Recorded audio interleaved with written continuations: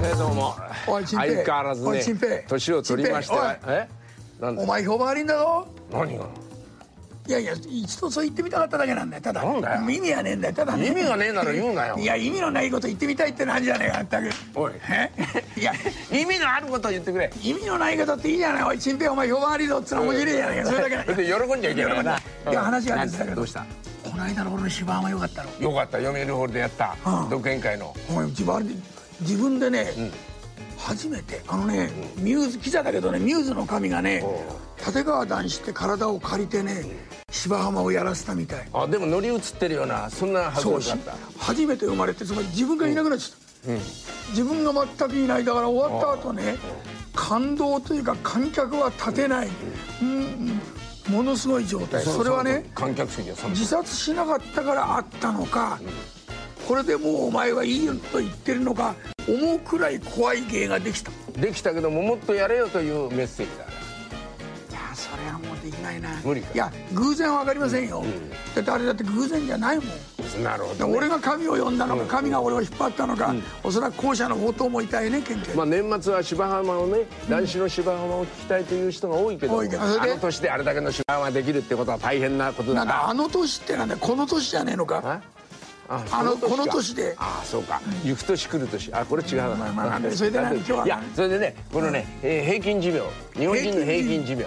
それは日本人ってのは世界一なんだろ？うん世界一なんだけども。それがまた伸びた。ちょっと伸びたけども。そんなことよりも東京の人はどの程度かというんで関東地方だけ平均誰が調べたのこれ？えこれは常に政府が調べてますいろんな調べ方ありますよ。でも平均寿命そういうのが調べられて保険が抜けちゃったってのはおかしいね。いやもうそそれは違うよ。寿命なんだから寿命それで？そこで、まあ、神奈川県が一番だと。男女ともにでも東京もここまで来てるというね。で念のため言っておきますとね一番ね男性で一番寿命の長いのは長野県だそうだ女性は沖縄だそうだ。あそう、うん、で簡単に言うと、えー女性あ男は80歳、えー女性は、えー87歳かな。そんなとこなんだな。そそれが何が面白いの？いや面白いんじゃなくて年々伸びて世界一であるのに年々伸びてるなんだだけど伸びてるおかげで、まあ、私は自分の母親も含めてね、うんうん。大変だよ。そこが言いたい。ただその伸びてて元気でね、うん。まあそんなにもこんな元気でなくてもいいからね、そうじゃないもん動けないんだもん。ピンピンしてうまいもの食ってああ楽しい幸せみたいならいいんだよ。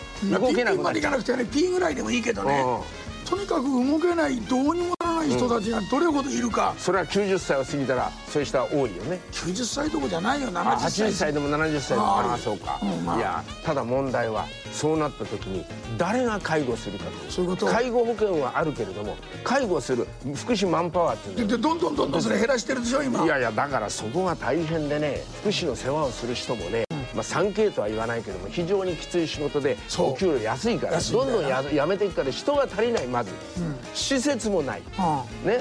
そうなのよ。だから垂れ流しでうちにいるよりしょうがないんだよな。いやだからそうそうはいかないから家族だって面倒見れないしいろんな悩みがね深い。長寿国というのはそのね体制が整ってこそね長寿を祝えるんだよ,、そうだよな。これ寿命をね並べただけじゃ本当言ってね何の意味もない。意味ないね。うん、でね一つ言いたいけどね誰がそのね介護するっていや専門家に任せたらいいだろうと。その方が幸せだと。いやいやうちうちで、えー孫の顔見ながらね娘たちに子供たちにとは言うけどもお金かかるんです。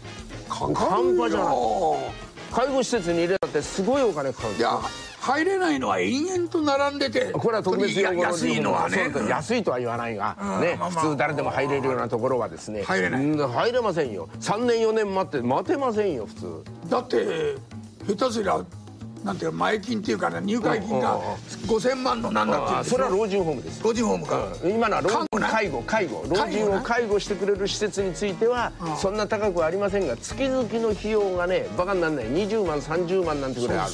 そうなんねですよ、あどう？い家元のところのお母さんはあのどのぐらいのところに40万だよな。あやっぱりねまあかなりレベルの高いところですそれは。偶然というかまあ稼げているからねいいようなもんの。問題は。何が言いたいか、ね要するにそのお金誰が払うんだ？親が自分で用意してる場合はともかくとして娘息子あるいは結婚してるそういう人たちは一体払えんのかと。それで大家族制度じゃないしね。そうそうそうね、月々何十万も払っていい施設に入れたい介護してもらいたいと言いながらこのお金じゃあ一体どうしたらいいんだという問題を抱えてものすごいこれ社会問題っていうのは私もね部活だけど初めて気が付いたの。自分の母親がそうなることに。そうかそうかそうか、うん。だからこういう平均どれほどこれにに困ってる人たちがいるかっていう。その通り。だから元気で健康であれば何でもないんだけどもそうもいかないなと。そうそう。いうことだから自民党と民主党とやってる場合じゃねえんだと、本当はね。どちらもやるべきことは他にあるぞと。言いたいんだね、いやいいこと言うね先生、うん。評判いいよ。なんだよおい。さっきと全然違うじゃねえか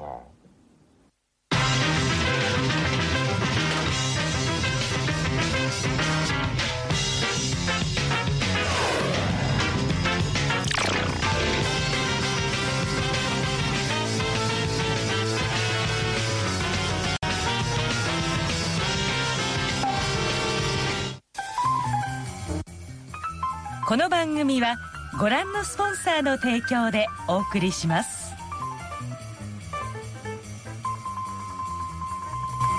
おはようございます。道平陽子です。1年は早い。あっという間ね。と私の友人たちは言います。皆様も早いのではないでしょうか。お家元に言わせると文明が年月を早めているのだそうです。難しいですね。今週もその家元とご隠居とゲストの方で言いたい放題です。まずはニュースニュースニュースからどうぞ。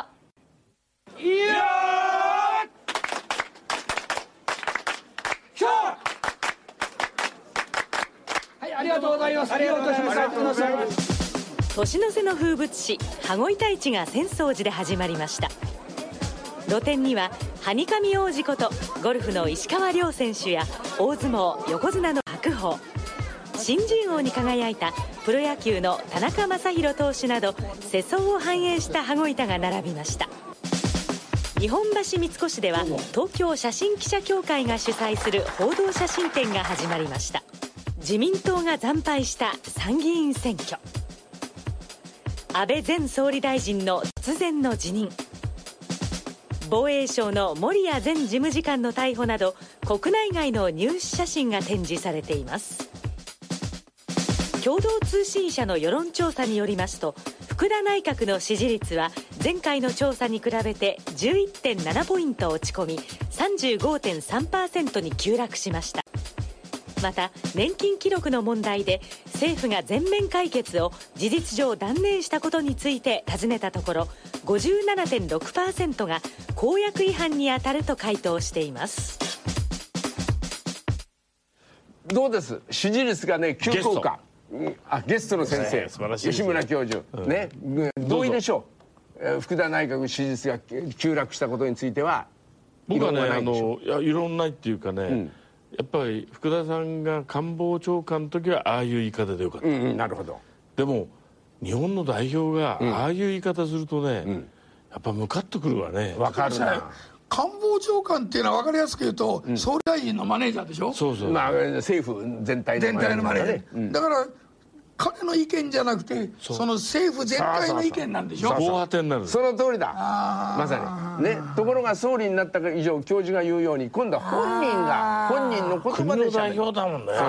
それにしたら他人事みたいで軽いと。だからあの時ね嘘でもいいからあの時には分からなかったんですよ、その後やったらだんだん難しいな、こうなっちゃってすいませんねって、年金問題ね。そう年金問題の話だけですよ。今回のね支持率が落ちたえー残念ながら一番大きい原因は。国民はね年金のことだけ言ってるんですよ。ですよ。他のこと全然言わないんですよ、だからそんなこと分からないのがね首相になっちゃいけないんですよ、でもねそれだけじゃないんです。松添君もね言い過ぎたからね。役人がやらなきゃなんない。役人がどこまでやれるか分かんないのにお人気取りで大風呂敷広げすぎた。らそこもね裏目に出てるんですよ。だから両方謝りましたからねその最初の謝んなことよ、うん最初はね。最初ね偉そうなこと言ったわあけですよ。あ福福田総理がね。両方とも、ね。福田さんに言いたいのはね、その赤服だとかね吉兆を見ないと、最初からこうやってずっと肉がハンマー頭下げてたと。あれがないからその福田はバカなんだ。でもその時ねあの町村官房長官がさあの福田首相にさ、頭が真っ白になったとかなんか言えばさ、大笑いだそれだそれだったらあそこのさ千葉吉兆の会見でさいいじゃないですか。ええおふくろがさ知恵つけたってまんま吉兆もうみたいな。頭真っ白そこで脇でもってね総理あのここは謝っといた方がいいですよそうそうそうそう。ここでにっこり笑ってねとかで。そんなこと言ったら支持率ゼロになっちゃうよ。いや今だってそう落ちたんだから同じだろいや落ちたよ。10%落ちて不支持が10%上がったんだから。だからそんなの約束公約大したことない。んだあんなこと言っちゃいけないんですよ。ね公約違反と突っ込まれて、いやそこまで言うほど大げさなもんじゃないあだろうっての公言っちゃったんだ。約した時にはできると思った、そういうのが来ましてそれは不徳の痛口ですいませんって謝ってるでもその時はほんだから。責任者やないもんでついね軽口言っちゃったんだよね。だからあのなんだかんだ言いながらも安倍さんに対して批判的だったっていうのがちらっと出て、衣の下から鎧が出たんですよ。ああそういうふうに見たか、いずれにしてもだけど選挙ビラにね、最後のね一人までとかね最後の1円まで、ね、責任持ってなんて言ったから。せんそうすいませんだから選挙ビラで出ちゃってるから、それで結局公約違反と言われて、でついには認めたけどね。ね。なんだい？総理になったと同時に、今まではまあ分かりやすく一議員であった、一議員じゃないぞと落語家で言うと、俺は今日から真口なんだぞと、まそういうような意識が持たないのかね。ずっとそのままの連続になっちゃうのかね。でもねまあそれはあるだろうけども、福田キャラっていうのはやっぱりさ親父に似てるんでなんとなくさひょうひょうとしたところがあるものそれは重みがないんだよ、それはですね。そう。そうそう。ほうほうほうほうほうほうっていうこれこれだよ。ね。だからそういうところがねかわしてると思ってるんですよかわしちゃいけないんですよ。いやまともに受け止めなきゃいけないよそれは。4つに組まなきゃいい。横綱相撲なんだから。かわしてはいけない。川上いかなしそうそうやっぱ手伝うんですよ。うまがないからたまにはうまいって分かってるふりしないとさ分かってない。いつも分からない分からないって。ほとんど分かんない。分かんない。まあ今分かったさっきも分かんなかったじゃない。ですか分かってるよ。だってもう俺ね楽屋を見せたいね。それ何にも分かんない。まあ今こっちは置いといて。ねそんな見たってしょうがない楽屋なんか。そういや町村だって俺たちは町村の親父と一緒。親父そうなんだよ。北海道知事をやってたね親父と一緒だ。いいなお互いに。いやお互いに古いとこじゃん今大臣クラスは全部俺の後輩だよ。そうだよ。後輩とこじゃない。親父と付き合ってた。あ安倍晋太郎安倍晋三。これもそうだし。そうで全部そう。だからね時代が変わったというよりもね福田さんもそうだね。ハラハラしません？そうですえとハラハラっていうよりねちょっと不思議ななんかうまくやっ気がするてよって気持ちはないんですうよ。ーんまあだけどな。兄貴親みたいなもんで。いやそんなんない。ない。うん。やっぱりえ総理大臣として見るにはどうにも見れないから。で聞きに来ないの？何？当たり前ね聞きに来るわけないじゃないの。先生私は全然。だってあの安倍さんは美濃さんに電話してるってよ。安倍さんが？嘘だよそんなの。ミノモンタに直接電話がかかるはずないじゃない。ミノモンタの単なる大風呂敷だよ。それほど総理大臣って秘書官がいたりして取り継ぐ人がいるんで小渕さんだけですよ自分で電話かけてそうそうそうそう。ね。まあ笑い話があるんだけどねああるでしょ？またまたなんかで控えにね。まあそこでね。森さんもかかってきたことあるよ。まあこれはこっち置いといて小泉もね。三木さんとかなん。かそれは俺たちはもっとそこにいたからだけどそうな一般の芸人にそうはかかってこない当たり前だよなあテレビに思いっきりテレビ面白いようなそんなこと言ってこないよ来るわけやねん見てないし大体。見ない。うん。ででそこでね大なんかいい事なことは知恵ないの？その何？年金問題っていうのは。いや年金問題は知恵はない、ただしあれは国民全部がねうん困るわけじゃないんで宙に浮いた年金っていうけど部分的にちょびっちょびっとそのいろいろね複雑な年金を何千万何千万って言われるからそうそう。みんながね被害者だと思ってる。よねあれはであの違いよ。新聞はああいうふうになってるうんまあそれは面白いからでしょうね。5000万件っつうと5000万人の年金が消えたみたいに錯覚しますそよね。れで全員にこう確かめの手紙を出したっていうのあ今回はね。いまだに来ないの僕のところに。いやだからち普通に年金が続いてる人は来ないんですよ。あそうなの？そうじゃなくてそりゃそうだよこれ驚いたわ。いちいち大丈夫かおい。来てくれるかと思った。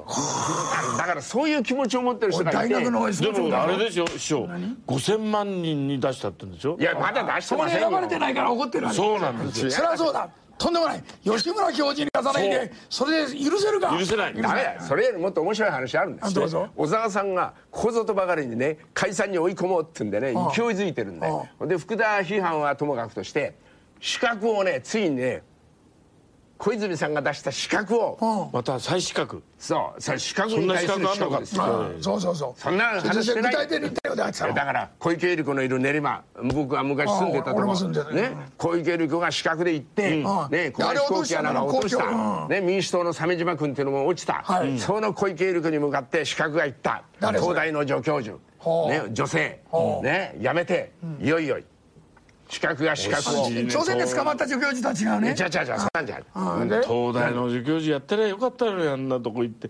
だこんなとこ行ってってなんね資格なんだから。まあいや民主党が民主党が送ったと。違う違う違う違う。民主党が送ったの。小沢個人が送ったの。送った。ところが小池百合子はどうしたの？小池百合子がね「あら」ってこれがしたたかだねあの女も。あらねっつったの？うん。小沢さんが来ると思ってたってこれだよ。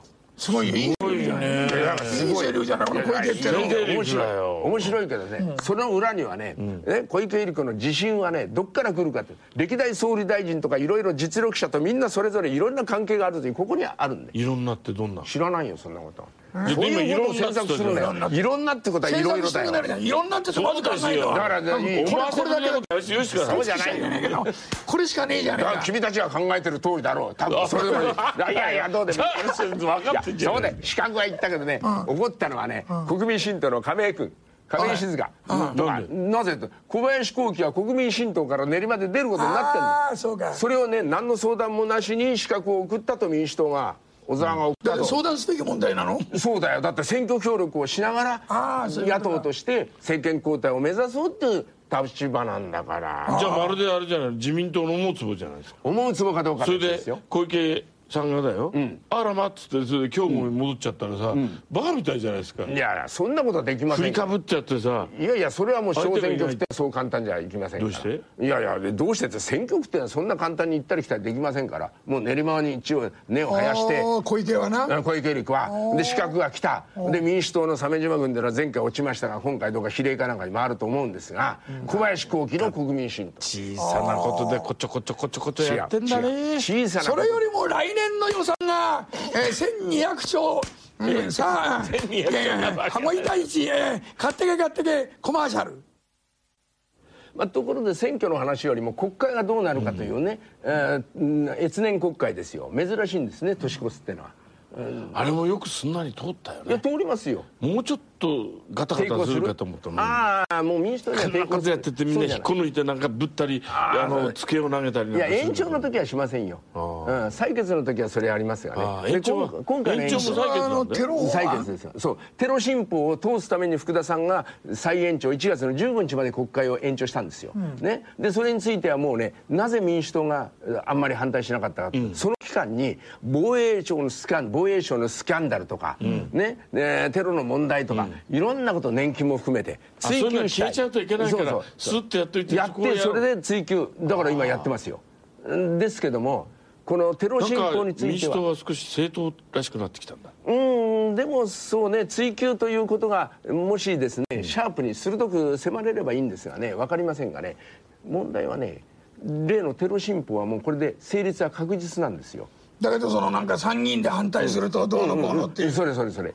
これね民主党が採決をしてですね、否決しても、えー衆議院に行ってはい。再可決あります、だけど陳さんはそれやそれはできないよと。あ。なぜならば、うん、議長が民主党だからどそう。のこうのって言ってただから嘘つきかてめえや。何考えてそうじゃない。採決をしないこともあり得るが再延長されちゃったらもう今度は参議院で民主党が何もしなかった。ら、そう60日経ったら衆議院で再可決できるんですよ。そこまで再延長しちゃったからもうそういう話はなくなっちゃう。議長がいくら頑張っても。だから採決して否決かもしれません。しないかもしれません。だからあれ公明党が反対してたんだけどね、まあ。どこでどう、うんその辺はよくわかりませんが、口挟ってやったのかしら？うんわかりません。わかりませんが、分かりませんだって理由があるでしょ。理由があるから結果があったわけでしょ。だからそれはそれは先生分かんなきゃダメだよ。いやいやそうじゃない。テロだ新法のだ本当は分かってるんじゃないですかがあのさ衆議院の解散はしないっていうのと引き換えにあの深い読みだね。だと僕は思うな。わかりました。つまりね解散はないってことになったら年内はもちろんありませんがいやもう。1, 1月早々もないです。予算がた立つまでまあ予算が成立すするまではできませんね。やんないでしょ、うん多分ね。だからそういう含みがあるんでみんな解散を恐れてたあの普通のなんて言いますかあの期間っていうのかな。4年なら4年っていうと、それはあと何年後になるの？あ一年半。2年ちょうど2年は。ちょうどね衆議院の任期はまだ2年ある。ああなるほど。いやところがねじれ国会がもう6年間は参議院は変わりませんから、なんとかして1回選挙をやりたい。国民も選挙をやると言ってる、それは衆議院ね、うん。衆議院の選挙、総選挙ですね、やれと、その結果によって政界再編、あるいは大連立、はい。という方向に多分流れていくであろうと。いうもう流れです。ただあの保守的な人たち集まって50人だか57人だかって中川翔一さんがやった、あれが離れるなんてことはあるの？そんな簡単になりないです。ようん、ただグループがあるってとっことは脅したくらい。いや再編いつ再編があってもいいようにみんなが用意をしてるそうですあの人たちが。その通りです。あるいは大連立、大連立になった時には派閥でもって自分たちの勢力を確保しよう。その中には民主党も入ってんの？民主党からも来る可能性を秘めたグループがいろいろある。だから小沢さんも、えーそういうこと困るから大連立をしちゃおうと思ったりいろいろみんな考えてるそれぞれ考えてること違うんですよ。自分の生き残るためですから。でもさ、ええ政治家は。国のためにやってほしいね。自分のためじゃなくて。国のためにやってる人も一部いますけだってどね政治家は昔井戸部って言われたじゃないですか。あそれはお金の問題でしょ、んだから今はお金でしょもう。いやいや今はお金じゃない。だけどあえてねその政治家の名誉のために言うけどね、日本を悪くしようと思ってるやつは一人もいないね。いないねいないよな、地元を少なくも良くしようと思ってるからね、まあまあ地元を含めて悪くしようとは思わない、ね、あ思ってない思って。ないただ役人なんかに任しておくと悪く自なって。る分地元のため自分のために一生懸命やったでしょ、その通りですね。でその結果におのためって言いながらならない。ならない。あなあなってないね。なってない。そそなってない。そこのところを僕は考えてもらう。あ裏面裏面出てるね、たださっきの話に戻るとね衆議院で再可決をしてテロ新法を成立させますとね、はい。問責決議案というのがね衆議院の不信任案に当たる問責決議案責任を問う。これ参議院で出せるんですよ、だけどあれは何の法的拘あ束力法的ないじゃない拘束力ないですけどね。しかしね国会でね国会で総理大臣が責任を問われるということはねそれが可決される成立する成立って変ですけど可決っていうことはねこれは歴史上ないんですよだからもうずっと参議院行ってプッて最後っぺして。うんだから解散をに追い込める力があるかどうか。ないでしょないとすれば私予算成立までは責任を持ってとか、ね。この先ずっと成立責任を持ってやる。このご批判を一心に受けてあそうそうお国のためにっていう。そうだから問責決議はいらない何を言い。たいねどうすればいいんですかこれ。いやだどうすればじゃあテロ新法が成立すると確実になったよと、となると国民はもう関心も何もないと。そしてインド洋の給油も1月のな中旬頃からいや行く行くようになりますよと、うん。その間ちょっこと国際的に信用高い時にさ、またガソリンスタンドみたいなことやめてね。もう民主党が反対してんでもしょうがないな小沢はとか言っちゃって、アメリカに言い訳してごめそうそう。んそうみたいなことどうしてできないのそうだいやいやそうだやってほしいですよ。ねてそれはやっぱりロビー外交でありね。小沢さんに全部罪をなすりつけるんですよ。やりたいんですよあいつは悪いんだと。そうアメアメ様やりたいんだけどう。ちのその小沢何がしがうるさくてできませんっていう。そんなことアメリカはだってよ100も承知でもよくあのチッペイ先生言ってるじゃない。何？このお金は払いたいんだけどさ全部みさんが取っちゃってさって本当はポケットに入ってるのにねなんで政治とそんな個人的なこと一緒にする政治家だったのでしょ前昔の話だからチンペイ先生みたいにしたたかにやってほしい聞いてる人これどう思いますかこれさて昭和の風景とこのコーナーね2回目になりました、え2回目ですけど先週クリスマスやったでしょ、ええね。今日はもうね、えーあとわずかですからお正月。うんお正月なんてそんな子供じゃないんだよ。歳末だ。ね。あ歳末。歳末だよ今。歳末となるとねやっぱりカレンダーとかね手帳とかそういうものにどうしてもビジネスマンに興味いくわけだよ。な？で買うんですよね。買うんですよ。もったいない。高いんですよあれ。カレンダー？カレンダーはもらうにしてもいやもらえないんだ手よこの頃。帳あそう？まずカレンダーもらえるもんだと思ったけど商店街でも何でもカレンダーあんまり出さなくなったんですよ。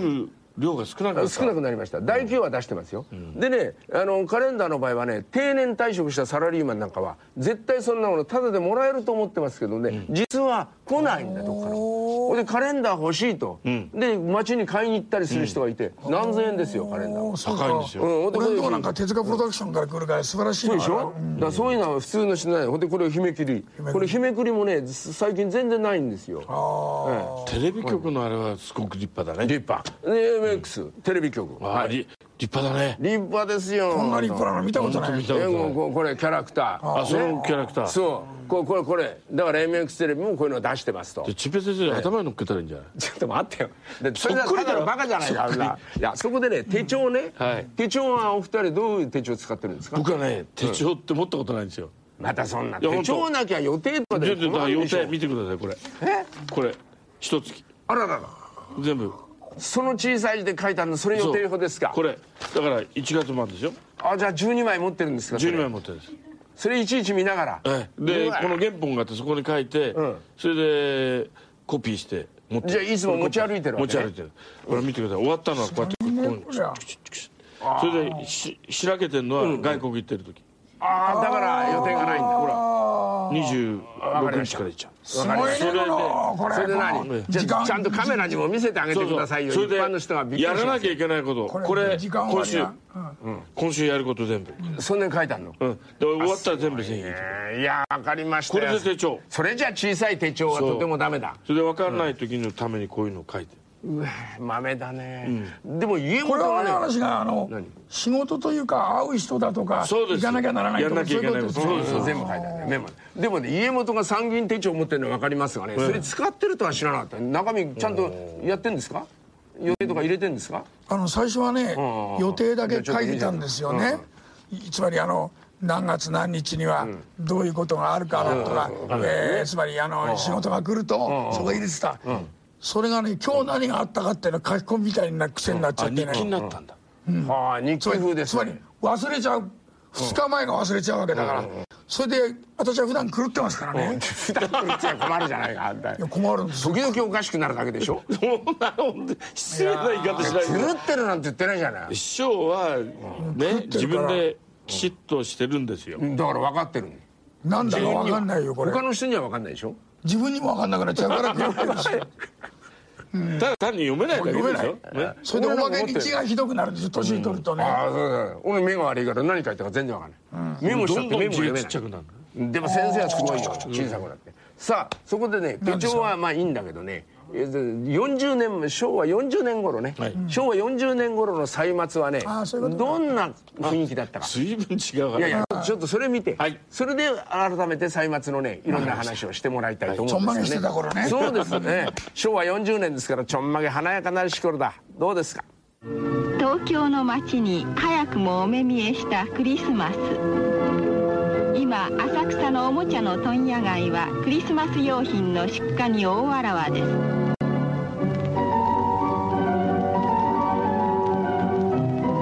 豪華な飾り付けで客を呼ぶ年末商戦の大切な道具として今年も景気は上々。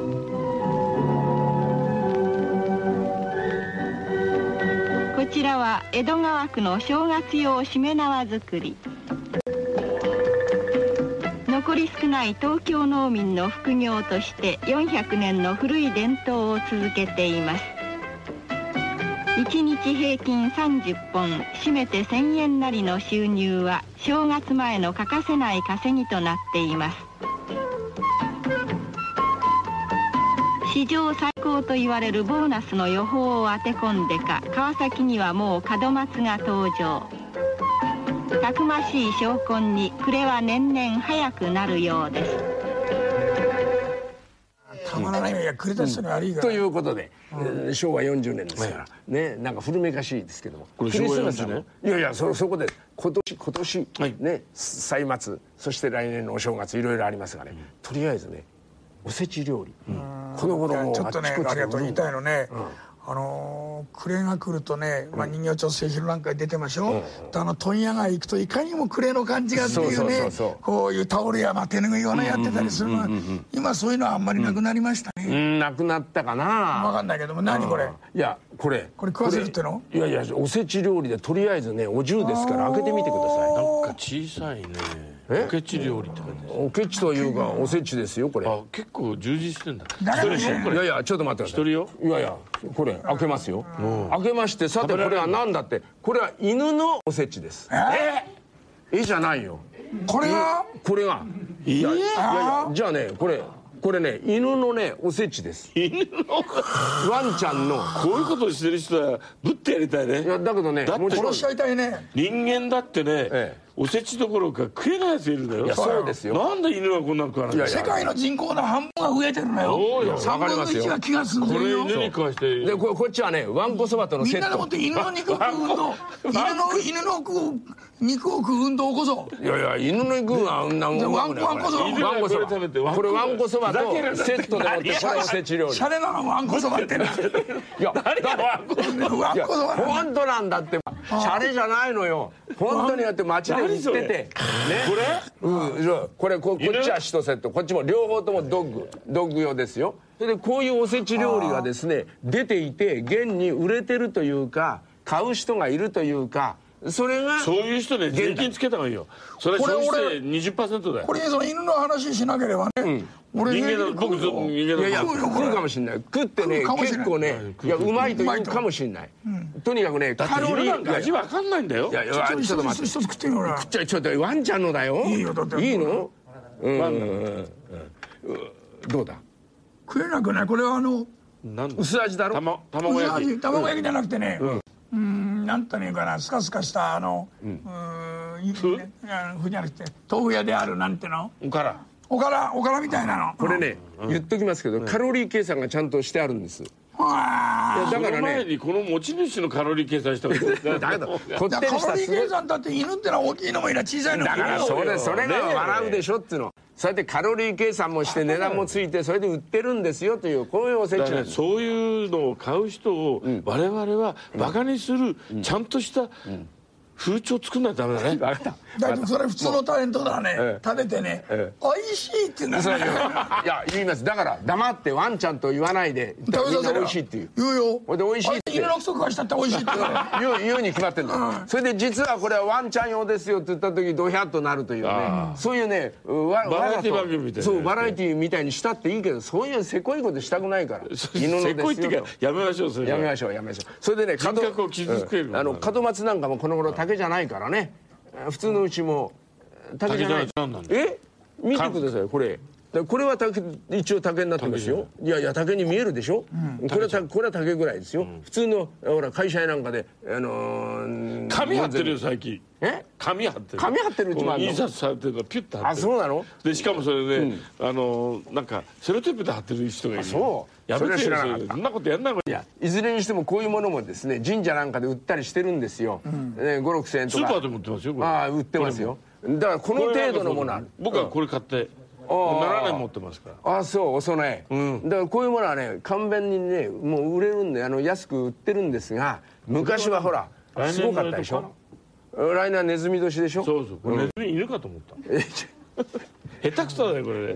ねねねあれでしょ？お供えは二つ並んで仲良いけれど「えー焼かれりゃ膨れる時もある」っていう。いいのと言ってた。ですね。ああまさに。これはねあのね、沖縄で言わせるとね、蛇の交尾だっていうんだよねそこから来てるっていうこれこう飛び巻いてるわけだ、ああなるほどね。ああそれ知らなかった。まあいろんなことはどうでもいいけどね、だからこういうね正月をあの街を彩るね風物もね、だんだんなくなってきてんだよね。もうあれですよ。だってタコもあげなきゃ駒も回さないよね。もう。それどころじゃない。とにかく門前に何かを飾るみたいなのあったの昔は。ああそうか。でで飛びの人が来て全部やってくれてたんだよ今いやーそれはない面倒くさいからクリスマスツリーかなんかの残りでもこうやったらどういやいやでもそんなうちありますよ。クリスマスツリーはちゃんとやってんだよいやだからクリスマスの方に金をかけるようになっちゃったんだよいやそうじゃなくてお正月もそのクリスマスツリーで済ましてねいやだから済ましてちょっと入れ替えりゃいいんだよなんかな。入れ替えるとかあの変なこうピカピカやるやつを取ればいいピカピカって何？イルミネーションそうイルミネーシ街はもうイルミネーションですごいですか。ら個人のイルミネーターってのいるの知ってますか？え？なんでそれ自自分につけてるわけ？じゃじゃ個人ターミネーターしてます防防塵につけてさどうだ人体につけんじゃないよ。うちお家に自分の家にもうね何十万かけてバーッとイルミネーションつけまして競うんですよそうういうやつは税金かけた方がいいって言ってすぐ税金の話するでしょ？そうですよ。いいじゃない。国家困ってんだからって今1年に一遍のイベントだってんで個人が個人のイルミネーター競争ですよ今。そういう街もある。ならめんどくさいから富士山なんか全部イルミネーションでやってもらいたいね俺ね。それは金かかりそうだあれね空港さんで。夜ねあそこを飛ぶとですね富士山見えないんだよ。あ見えないよ。でやってほしいよ。何考えてんだよ。いやいやまともですよ。曇ってる時もやってほしいよまあ、まともって夜富士山の上飛んでねふああ富士山だ上は飛ばない。富士山のイルミネーターだそそば飛ぶんでいやいや。上飛ぶと見えないから。見えないか。そば通るんだダメだこら。いやいやいや。ダメなんですいやかあのーいや本当にいや冗談じゃなくて俺体にね、イルミネーションつけて歩いてるやつがいたって不思議はないよ不思議はない。いやそういうのも出てくるでしょうおそらく数年後に。バッテリーが重いからさ、こう紐かなんかひ引っ張ってくるだったら先週話した木にさ、全部であれを巻きつけてね、えー電球こうやってやると同じじゃないの？発光ダイオードでピカピカ光る。あれ結構ね木も迷惑してるでしょ？だからそうなんだよ。その通りだけどもね、こういうふうに正月風景と言ったってねもう犬のおせちまで出てきて。これは何なのよ？ね？これは犬の口聞くの口吹くやつ？犬が口吹くんだよ犬が。当たり前だそうだよ。本当にする？やらないよ。いやいやばい。ごめん。いや下手すら犬のトイレットペーパーもある犬の歯磨きもねそうそう全部あるんじゃないか。犬の金眼用の眼鏡遠視用の眼鏡みんなね。じゃあ最後これでしょ待って待って一言。最後に。何？うん。最後に一言。どうした？なんだこれ？なんだよ。なお待たせしました。診断診断のコーナーです。今日は有名人のお子さんの名前をテーマに話を進めます。それでは早速どうぞというわけでね、有名人といってもね、まあスポーツ選手から芸能人からね、いろいろ文化人いろいろいます犯が罪者もね、あそうそうそう言いますがそういうお子さんはない指定の名前ですがね。要するに面白いという意味なんですよ、ね、つまり親の好みも分かるけれども少なくも親が誰かというのが分かったら面白いと。そ最初この辺から移してくださいね。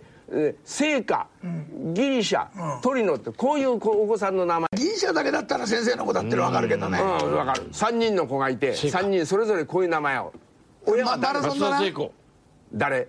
まあいやいやちょっとマラソンだなこれ。マラソン？いやマラソンかもしれないね。オリンピックだねトリノなんかだからね雰囲気がトリノは冬季でしょ。うん、うん、そうなんだよ。だからそこまで考えちゃうとダメなんだこれね、えー聖火あギリシャトリノと3人のお子さんの親は誰かっていうとあ俺もふっとそれこんなこと思ったあそう、うん、俺橋本聖子ってのはうちの遠い親類に当たるんだけどね。あそうなの、こんな名前つけてバカだなこいつも。でも参議院議員ですからね。バカだなんつってられませんよこれ。参議院議員だろうと首相だろうとバカはバカでしょ。違うカテゴリーだから。だからこれは。勝手だけどな別にな、子供のだ名前からどう思うんだこんなの。そうだからだこれから書けない。子供は二十歳になったらもう一度だけ名前変えていいって権利。ああいいね。これ絶対すべきだよね。すべきだって言っちゃいけません。子供がそういう意思ならばとこういうふうに言ってとりあえずこういうね名前です、ね、じゃあギリシャなんて名前つけられたらねちょっと困るね。しかも読めないよこんなの。読めない読めない。だから読めない名前を書いちゃだ難解の名前をね子供に与えちゃ子供がい困る。や状況判断ができないやつをバカっつうんですよ。KY だよ。なんでこう KY 分かったらなんで橋本聖子ばっかりいじめるんですか？いじめじめてないよ。あそう。正しいこと言って正しいこと言ってるのね。分かった。じゃあね今度今るちゃなんだもんんにちゃん。まあにちかちゃんねもうにちょっと何？これもくだらなすぎない？そういうの。くだらないけどつつまりこの頃は、ね、いろんな名前を付けたがる親がいるんです。それでどんどんめくちゃやんのはいはいはいはい。明石家さんま大竹しのぶのね、えー子供がこういう名前なんだそうですよ。両方ともバカだな。ああ分かった。今度は日光とかでニコちゃんってのがいてここれ誰だろうってねこれは松坂大輔の例の。そんまあなこのぐらいならまだいいや2個ぐらいな。らでニコニコしてるみたいな。ニコでも三個でもいいよな。そうだな、うん、だからこれは普通だ。だったらさ日光ってやるそうだよ日光の方がいいよ。子にならないでしょ松坂日光なんていいじゃねえ俺らどうしちゃったのよ。でもそれではお坊さんみたいだからな、どうして？いやそれは日光なんぞお坊さんみたいな。これだっていいじゃん2個ってなただ2個と読ませるのは無理があるないやだったら1個2個の方がいいよお前2個ですってね長男は1個何買ってやるのも次男が2個うん。うんであの女の子の場合は1個と書くわけな。うん数あの息子じゃないけどな。息子もいるよ。息子って映画があってなんかあのうん。三丁目の東京そうそうだったら光じゃなくて子供の子でもよかった。よまあ何でもいいんだけどね。親の好みだからこれは分かるでしょ名字名字ねうん。読めるよ名前はともかく名字歌手だなそれじゃえ？歌手だな。ミュージックだな。そうですよ。だからミュージックあベートーベンか？まさか、ベートーベンはこんな漢字使いませんよ。はい。誰でしょうか？知らねえよんなのアンナルイス。アン・ルイス。あアンルイス。桑田ってのは聞いたことあるけどね。桑名正宏あもうこれジャイアンツにいたろ？あら桑田。桑田。あ桑名か。こっちは桑名正桑名あそうかお殿様の名前だ桑両名方そうそう両方とも音楽家だからミュージシャンでミュージとこうつけたと。なら道のミュージシャンまでつけりゃいいのにな。そう。ミュージック美人とかいてミュージックシャンとかな。でもミュージさんでいいじゃん。まあいいようんまあいいや。まあいいや当人だけど。そその辺からじゃあちょっとねこれこれはいいよ。リズム。すごいね。ね。ねリズム。作曲家。ロビン？ロビン。ロビン。ソンのロビンかロビンロビンじゃないの？ロコマ撮りじゃないの？でもロビンだよ。だからうリズムとかロビンとかってこれは職業なんだろ小じきじゃねえのか。小じきじゃねえのか。右肩でこれ右肩になってるって指揮者。指揮者。ねここまでお勉強してきたんだよ。有名人がどういうユニークな名前を子供につけるかということでね、だってそのリズムとロビン。横の関係ないでしょ。有名人がどういうのつけいやるかって。有名人の中で。リズムとロビンってどういう関係になっいてるのやいやだからじゃあじゃあじゃあ親の名前があった。角田博という音楽家でございま知らない知らない？角田二郎って。角田二郎って、えー漫画漫画でしょ、のうん。じゃあねやっぱりこれはね無理だ。つまり有名人で小麦だってさ。え？小麦なんかいいじゃ小麦かわいいな。小麦いいね。パン。ああ小麦。誰だこれ？ちょっと待って小麦って誰だろう？小麦ちゃんね。うん。女の子だなこれはきっとな、それにしても男の子は大麦だよ。めくろうとするときにそんなね裸めきはどうだよしモンタヨシノリあああったあった。ミノモンタじゃないね。違う違う違う。モンタヨシノリってあのさなんとかあなとかなんかそうそう歌ってるよな。春春の。小麦なんていいじゃねえか。あこれはよかったな。これは別にあれだな小麦変わってるってこと裸な。いなそうそうそうそう。よしじゃあねすごい極めつけ。これいこうこれ。上から読んで。まあまあ。まあ不思議。まあ不思議かな。ええまさか。そう。まあ不思議かな。まさかという4人のお子さん面白いじゃねえか面白いでしょ、ね。だけど4人揃うから面白いんだよ。1人だけだったらただのまあで普通ですよ、こ れそれね。ネタにあってねあった？祭りがあるからってんでね、一つみんなでもって揃って7人ばかりに大蛇を掘っちゃうじゃないかってんでね。おうおうすげえ竜かなんかずらーっと掘ったわけやでそれってどうだっつって。もう祭りが終わって1人になったらどうにもならなくなっあのネタと同じようなもんでね。あそうだよ、ね、だけどね。おめえなんだなんなんだ。ってどういいとかなんだ一つね、まあ、親の立場で言うとね最初の子はまあでいいよ。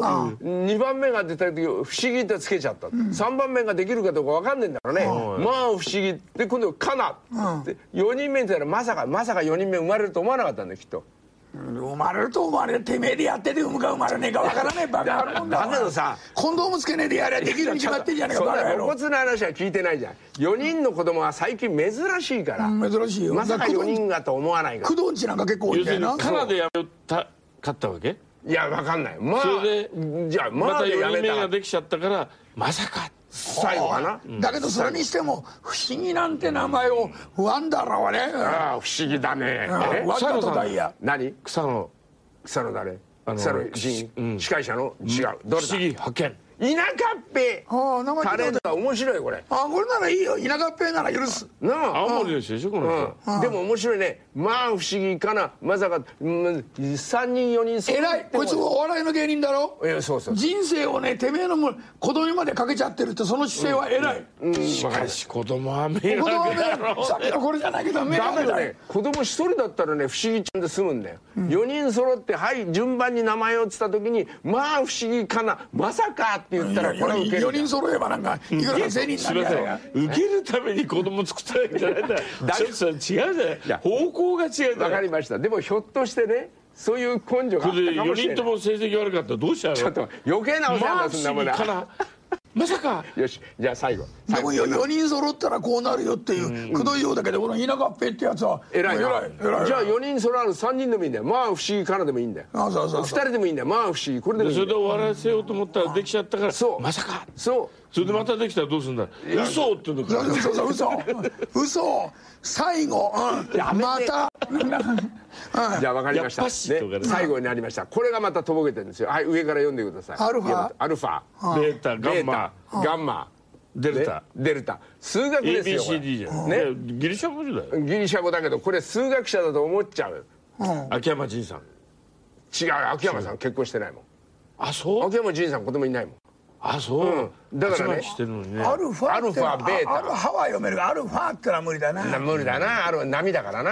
こアルファ。のこのベータも無理だな。ベータも無理だな。ちょっと無理すぎるな。ベニにただもんな。ガンマもこれ読めないね。ガンマ読めないな。デルタも読めないね。デルタも読めないな。カタカナで書きゃいいじゃねえかバカ野郎。バカ野郎って子供なんだから、え ー子供じゃない親のこと言ってる。あガキに責任は全くない。だってよ。子供はかわいそうな被害者なんだから。分かったよ、それは親に言ってくれ。親の名前親に言ってるんだよ。はい。だから内田春菊さん。あバカだからやりそうだ漫画こいつの作家であってこれ俺俺の弟子だったんだよね。あそうなの？あそうだ、弟子になってるんだよな内田春菊うんねこいつ頭狂ってるっからやりそうだよ。でも変わってる人。いやーしかしこう見るとね、はい。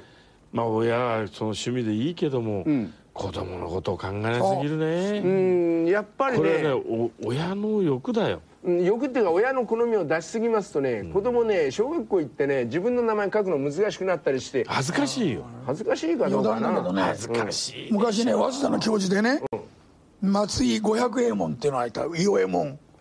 松井水星さんのご子息だったの。あ伊予右衛門っていうの？伊予右衛門っていうの、うんうん。だから五所平之助も平右衛門ですからね、うんうん。はあ松井水星ってのは抜群に頭のいいあーのそういう。説明者であり、文学者でもあり、うんうん。人気者であったわけです。そういうのはいいじゃない昭和20年。ね伊予右衛門なんていうのはね今逆にいいよ清右衛門だとかね。いや今いま衛門だとかいうあそういう人いますよ。いるだろうね。うんあの三郎右衛門ね。五郎右衛門ね。宇左衛門ね。あ。の役者じゃありませんよ。あの代々ねあの名前をね継がなきゃいけないですからね田舎の方の地方の旧家ではねそういう名前があるんです実際。こっちになんか置いてまだあるよこれまだあるんですけどねこれは単にね名字がね珍しいというねこれ実在ですみんな。しょうがないけど実在。式式間です。覗きですこれはあ覗き。あ覗き。お前が昔やってたやつだな。ちょっと待って。よもうやめたよ。そうかこれはなんだこれこれも覗き。これも覗き。な。うん覗き。あこれは太り。太り。太りね。痩せてても太りとはこれいかにあ面白いこと言うね先生えーくだらはないよ落語が受けちゃうひっくり返って言えこれたやつじゃねこれこれこれハケタさん。ハケタじゃあでまず見せましょうか。見せた方がええやん。はい早く言えバカ野郎。バカ野郎はねえか。はいこれ真ん中に来ました。ハケタさん。これハゲタと読まれると困るんで名刺にハケタと書いてあります。これカツラメーカーに勤めてるんですよこれ実在ですよみんな。この人。これ。悪魔。悪魔。って言うんですよ。悪魔っていたね昔いやそれはえー名前つけようとしたら本本当の悪魔なんです。ね。これこれ悪魔さんで姓名字。これこれアホじゃないんです。アボさんなんですこれも実在ですよ。全員実在です。アボさんって言いますよ。井戸端さんね。井戸端さん。この人も多いですよ。だって考えるんじゃ見てない先生なんて見てない。そうですよ。お手洗いですもんね。そうそうだからちゃんとした不思議でも何でもない。見たらい見たらいですもんね。それをね、えーこの頃の女の子はお手洗いだまあなんて笑ってそる。ってうそうそう。全然違う。ゲスじゃなくて下司だもんね。そうそうそう。いい名前なんだよいい名前。で明珍ってのはこれは笑っちゃうんですけどね。明珍さんってこれ多い明珍はいるんじゃない？明珍はいるでしょ、多いんですこれがすごいんだよ付近原幸せってんだけどみゆきさんって言うんですけど。意味がよくわかんない。金原いや厚生省のね年金局長で付近原さんっていうのは実際いたんです。でその付近原さんのね、えー名前はいろいろいるんですがうんみゆきさんってんで女性で。ー付近原みゆき。いいよな。いい名前だねうん。縁起がいいよ。で最後に鶴亀鶴一さんという。これはテレビ出ましたよこの間いやそれありましたよね。だからね俺があの3人にいた頃なんかね「ご面会です」って「誰ですか?」と「マムシさんとカエルさんが来ました」まあ今のバグーのやつなんだけどね。マムシとカエルが面会に来たってろくなもんマムシに柳が帰るそうそれ言ったの受付で、あこれは受けるよ、はい。うん、となるとこの鶴亀鶴一さんおめでたいところでね、今年も終わるといいですがね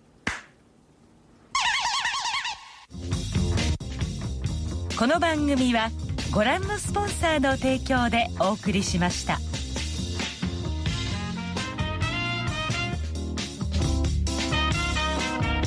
1時間あっという間ですね。そろそろお時間となりましたので家元の締めのジョークをどうぞ。いやねこれを出せって言うんですよ。野勢のうん陳さんね。まあまあ手拭いですよ。春出す。毎年毎年書いたのを自分で書いて出して別にどうってことはないんですけどね、うん、なんで言ったんだわかんない、うん、相手は俺だからまあまあ。見たってしょうがないからまあいいやなじゃあジョークね、うん、これ陳さんにわかんないんだよ、うん、おい若い女性紹介してやろうか、うん、嬉しいねよ、うん、顔は綺麗だよ。ボディは抜群。あそう。ここはお前バカじゃねえのか？うん。いいジョークだと俺は思うけどね。まあいいや、うん、今年もう一遍ぐらい会う会えると思います。うん、うん、野瀬陳平票はありぞお前嬉しい。